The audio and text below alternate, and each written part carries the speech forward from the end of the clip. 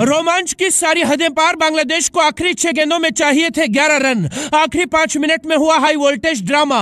अंतिम गेंद पर हारकर भी कैसे जीती साउथ अफ्रीका? पहली बार टेस्ट खेलती रही बांग्लादेश की पूरी टीम। मार्क्रम ने चला था रोहित शर्मा वाला दांव। 114 के टारगेट पर हुआ बवाल। अंत में केशव महाराज ने पलटा मैच। ढाई का आंकड़ा भी नहीं छुपाए ग्यारह बल्लेबाज। मैदान से रोते हुए निकले बांग्लादेशी खिलाड़ी। वर्ल्ड कप में हुआ सबसे बड़ा उलटफेर।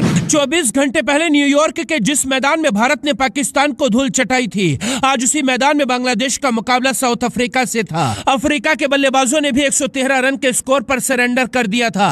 सारे विस्फोटक बल्लेबाज थर थर काँप रहे थे। बांग्लादेश के गेंदबाजों ने ऐसा शिकंजा कसा था। एक पारी के बाद ही साउथ अफ्रीका के आधे खिलाड़ियों ने हार मान ली थी। लेकिन जिस तरह से भारत ने पलटवार किया था। अफ्रीका ने भी उसी तरह की रणनीति अपनाई। रोहित शर्मा के दाव से मार्क्रम ने बांग्लादेश को ऐसा मुंहतोड़ जवाब दिया। पूरी दुनिया देखती रह गई। आखिरी पाँच मिनट में एक बार फिर रोमांच के सारे रिकॉर्ड टूट गए। आखिरी छह गेंदों की कहानी पर आएँगे। लेकिन उससे पहले बांग्लादेशी गेंदबाजों का कोहराम देखिए। साउथ अफ्रीका के कप्तान मार्क्रम ने टॉस जीतकर पहले बल्लेबाजी का फैसला किया था। मार्क्रम के इस फैसले को कमेंटेटर बेवकूफ़ी बताने लगे थे, क्योंकि बांग्लादेश के गेंदबाजों ने पावर प्ले में ही साउथ अफ्रीका की आधी टीम को पवेलियन लौटा दिया था।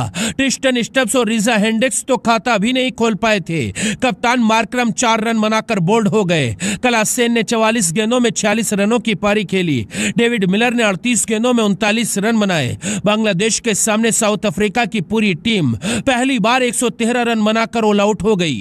एक पारी के बाद ही बांग्लादेश के गेंदबाजों ने जश्न मनाना शुरू कर दिया था। बांग्लादेश के फैंस को लगा था 114 के टारगेट पर आसानी से जीत हासिल हो जाएगी। लेकिन दूसरी तरफ़ खड़े एडन मार्करम ने रोहित शर्मा की तरह अपने गेंदबाजों को आग का गोला बना दिया। मार्करम ने गेंदबाजों को पूरी ताकत झोंकने का मंत्र दिया था। रोहित की तरह मार्करम भी समझदारी के साथ गेंदबाजों का इस्तेमाल करते रहे। सबसे पहले तंजीद हसन नोरन बनाकर रबाडा का शिकार बन गए। इसके बाद लिटन दास, नोरन और शाकिबुल हसन भी तीन रन बनाकर आउट हो गए। शंटो भी चौदह रन के स्कोर पर विकेट दे गए थे।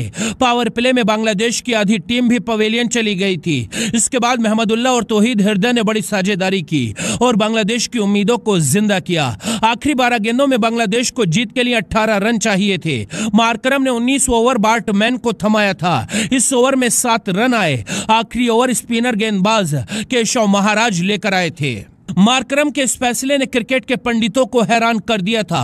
आखिरी ओवर में एक स्पिनर गेंदबाज और जिसे सिर्फ़ 11 रन बचाने थे। बांग्लादेश को जीत के लिए 11 रन की ज़रूरत थी। महमदुल्ला क्रीज पर सीना तान कर खड़े थे। पहली दो गेंदों में ही चार रन आ गए। तीसरी गेंद पर जाकर अली कैच आउट हुए। चौथी गेंद पर सिंगल रन आया। अब आखिरी दो गेंदों में छह रन की ज़रूरत थी। महमदुल्ला ने पांचवी गेंद पर आसमानी छक्का जड़ा, लेकिन बाउंड्री पर खड़े मार्करम ने इसे कैच में तब्दील कर दिया इस असंभव से कैच को देखकर महमदुल्ला सिर पकड़कर मैदान में ही बैठ गए। आखिरी गेंद पर महाराज ने सिर्फ़ एक रन दिया और हारी हुई बाजी को जिता कर ले गए। मार्करम की कप्तानी ने बांग्लादेश को चारों खाने चित कर दिया। इस हार के बाद बांग्लादेश के कई खिलाड़ियों की आँखें नम हो गई थी। साउथ अफ्रीका की टीम ऐसे जश्न मना रही थी जैसे वर्ल्ड कप जीत लिया हो। 114 के टारगेट को डिफेंड करके अफ्रीका ने ऐतिहासिक रिकॉर्ड बनाया है। बांग्लादेश की हार पर आप क्या कहेंगे? अपनी राय कमेंट